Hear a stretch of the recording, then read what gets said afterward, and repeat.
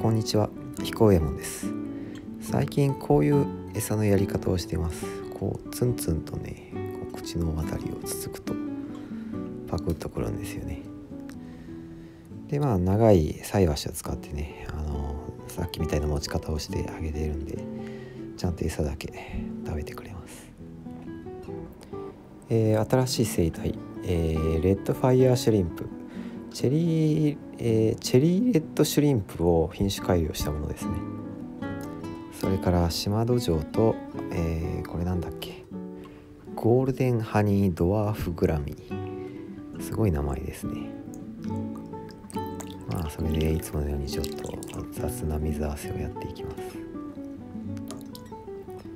意外とこれで大丈夫なんですよね。僕が思うにその今の水温よりもあのー、より暖かい、えー、水温の水槽に入れるんでそこまで気を使わなくてもいいのかなって。レッドファイヤーを入れていきます。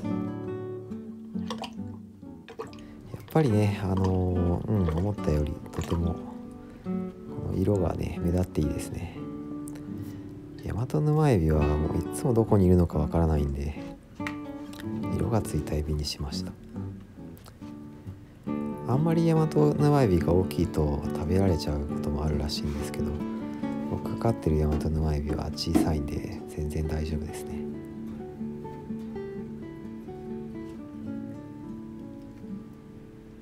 えー、グラミーと島土壌を入れていきます。土壌をねあのー、すくうのにちょっと苦労しました。意外と素早いんですよ。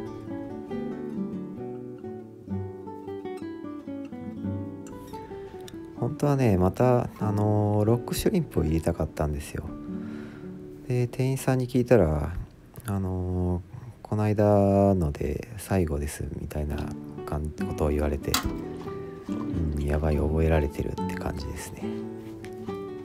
早速カエルに食べられたとは言えませんでした。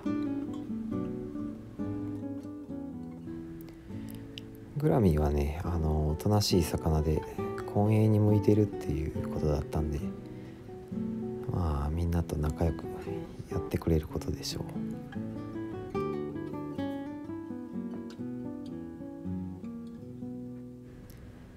カエルは無関心ですね。新しい指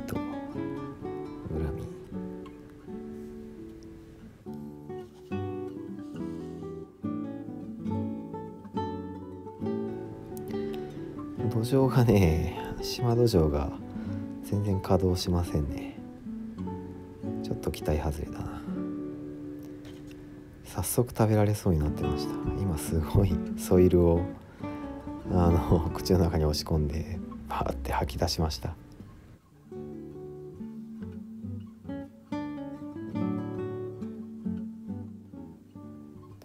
レッドファイヤーシュリンプとあネオンテトラが挨拶してますね。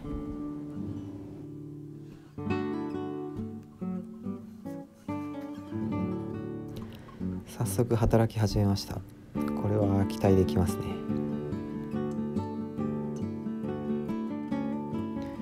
対してこっちは全然ダメですね。バシェットガエルは足になんか爪黒い爪みたいなのがついててそれで掘るんですね。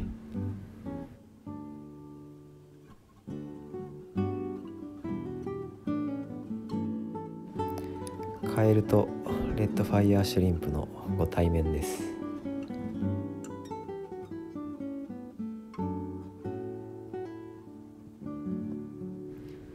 なんか後ずさりしてます。これカエルを見たからかな。関係ないのかな。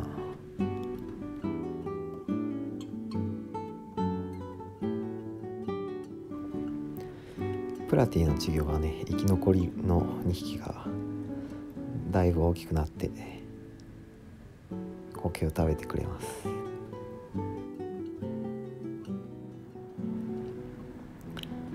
ちょっとグラミーこれね勇気ありすぎですよね。カエルに近いです。しかも全然反対方向を向いてもう食べてくれって言ってるようなもんですよね。まあ今多分カエルお腹いっぱいなんで行かないな。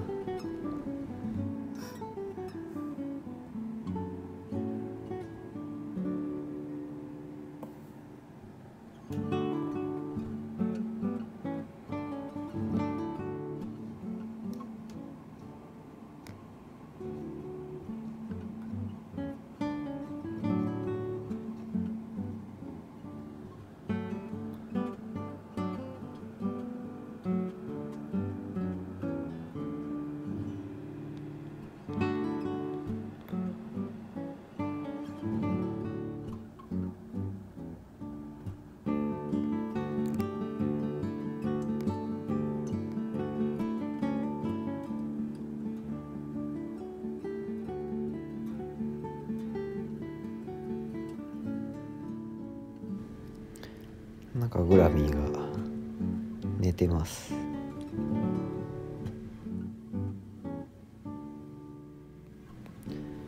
島土壌がカエルの足元に入り込んででカエルがそれを捕まえようとしてますね。この分だとすぐ食べられちゃいそうだな。ご視聴ありがとうございました。